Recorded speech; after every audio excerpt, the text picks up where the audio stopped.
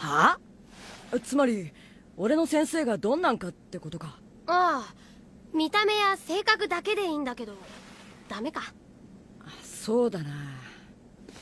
金星の取れたたくましい体を黒い着物で包み黒い着物？長い黒く長い髪を風に遊ばせ。髪？眉目秀麗しかしてその眼差しイルゴン落とし。鋭いその流し目を当てられてしなやかな指先で誘われれば落ちない女は誰一人としていない。目 やっぱ似てる。ま全てにおいて尊敬すべき人だな。ええってお前は違うのか？ああうん。鈴はその先生のこと本当に大好きなんだな。